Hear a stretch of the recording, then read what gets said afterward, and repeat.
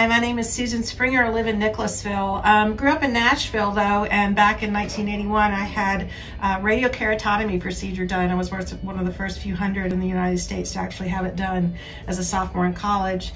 Um, I was, uh, before that procedure, almost really close to legally blind, so it changed my life. I had 20/20 vision for 20 years.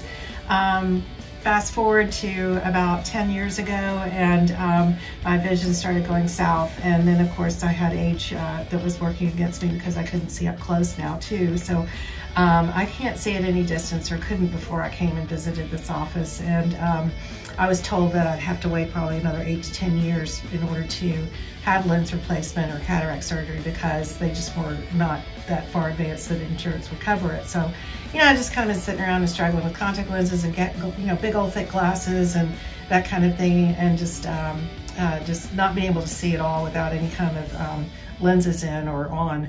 And um, so um, we just decided to explore cataract surgery now.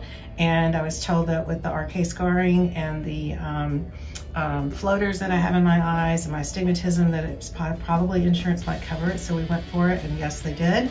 Um, so I'm really excited to say that um, I've had my first eye done. Can't wait for the second because the first eye has done so great. And yeah, there was discomfort. You want to help tell me, you want me to tell you how much discomfort there was?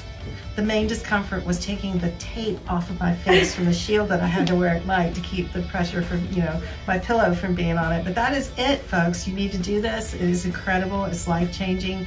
I've had two surgeries now in my lifetime, and I couldn't feel like more of a, a, miracle has happened for the second time in my life. And so um, just uh, encourage anyone that's uh, thinking about going through this process that it will really make a big difference. And this office takes such good care of you, and I just feel so blessed. Thank you so much.